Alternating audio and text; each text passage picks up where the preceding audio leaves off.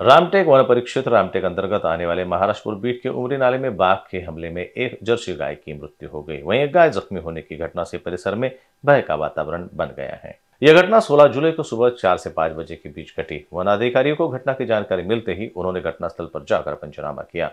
जानकारी के अनुसार यह पशु सदानंद शेरपुरी, उमरी बताया गया।